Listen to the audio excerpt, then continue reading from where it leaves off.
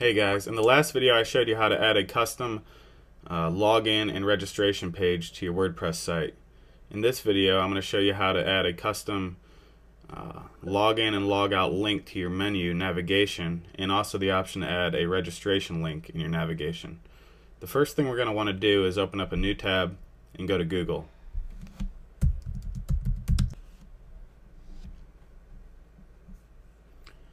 And now what we need to search for. Hold on, let me uh, find the plugin real fast.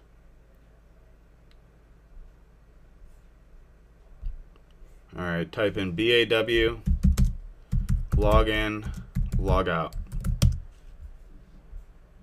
I'm sorry, I spelled that wrong.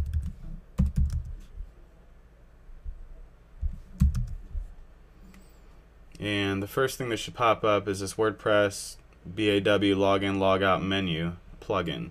Go ahead and click on that tab. And right down here, you can download the zip file. So go ahead and download the zip file, and once you've downloaded that, you can close that tab out. And uh, this is the site we're going to be using to uh, run the demo on.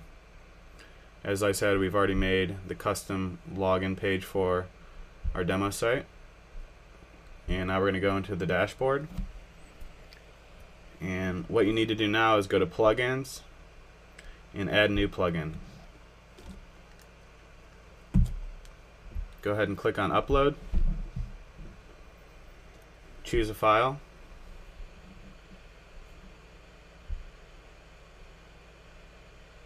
Go ahead and find the file that you recently got and install it. Then activate the plugin.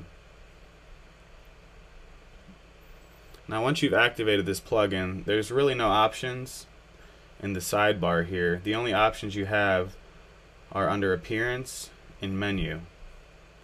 So click on Appearance and go to your menu. And all you got to do is scroll down to the very bottom here and you'll see this login, logout links. Okay? You have the option to add any four of these links to your menu bar. For this example, I'm going to use the login logout link and also the register link. Then I'm going to add it to my menu bar. Okay, they're already in the order I want them, so I'm going to go ahead and save the menu.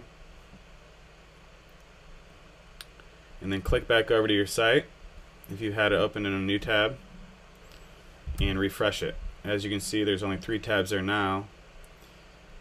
And now there's another tab for logging out because I'm currently logged in at the time. So if you log out, uh, we'll go back. Hold on. It'll show the login and registration buttons. So this is just a nice feature to add to your WordPress site to make it feel more like a website and not a WordPress blog. Um, it, it lets uh, viewers know that they're not logged in or, or they're not registered for the site.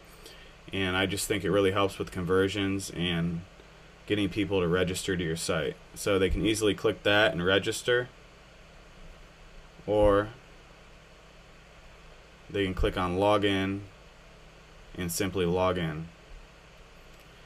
And that's all I had to show you in this video. The next video I'm going to show you how to redirect your login to a specific page on your WordPress site.